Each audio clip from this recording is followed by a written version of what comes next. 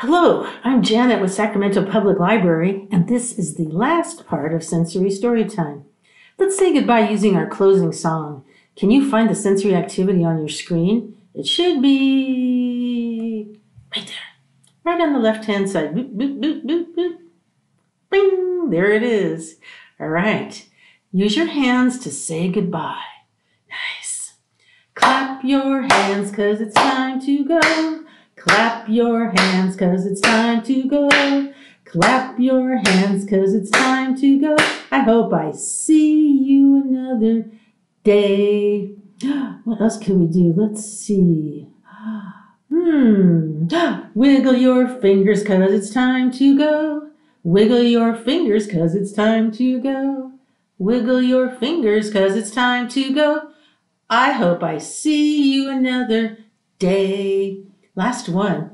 What do you think it is? It's so easy. How about bye bye?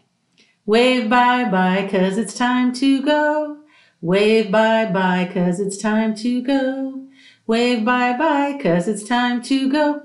I hope I see you another day. Nice job. Very good today. Let's see, I think we are all done. Yeah. Thank you for joining us today. To watch this video again, simply restart it. If you would like to watch more sensory storytime videos, click on the links at the bottom of your screen. Or even better, subscribe. Yeah. And make sure that you give our videos a thumbs up. Perfect. For Sacramento Public Library, I'm Janet. Thank you for joining us today. Bye bye.